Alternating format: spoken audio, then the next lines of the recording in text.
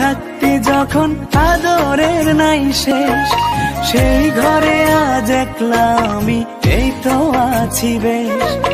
ভালো আছি বন্ধু আমি, ভাবনা করিস না। আমায় ভেবে সুখগুলো তোর নষ্ট করিস না। ভালো থাকিস বন্ধু রে তুই, সুখে থাকিস রোজ। কষ্ট করে নিস না রে।